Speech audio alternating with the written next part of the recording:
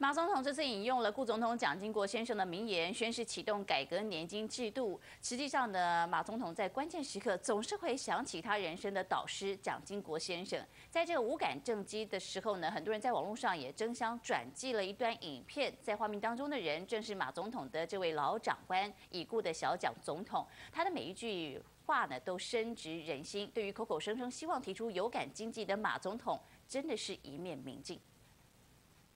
我的祖母，她给我两个碗，两个铜板。她的每一个铜板的酱油，每一个铜板的醋。我走到门口跌了一跤，我忘记了，到底哪个铜板买醋，哪个买哪个铜板买油了？回去问祖母去，喊你这个人这么笨啊，还是一样的嘛。已故总统蒋经国先生的这段谈话，尽管事隔二十四年。如果送给马英九总统，在对照《经济学人》杂志 Bumbler 话题，却是如此贴切。看你这个人这么笨啊！你这个人这么笨啊！网友大赞顾总统蒋经国真的很有先见之明。其实马英九曾经担任蒋经国六年的英文秘书，马英九更常常说蒋经国是永远的人生导师。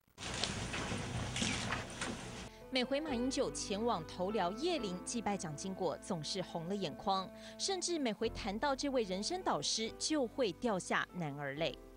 他躺在床上，肚子鼓鼓的啊，我知道他会不舒服，那种感觉，所以我后来那个到头寮叶林的时候，这样的一个画面不断的会出来，每次每次一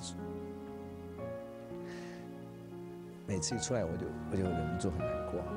我们拿公家的钱做人情，让少数人发财，我们不能够做的。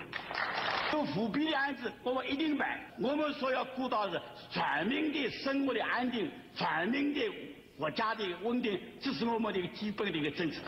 影片中，蒋经国要稳物价、打贪污，对国家政策有深入简出的论述，充满说服力。快救我，快救我！不救我的话，明天报纸上说，现在我们经济发展已经下克了。让人不禁感慨，老蒋的话真的比马英九还有感。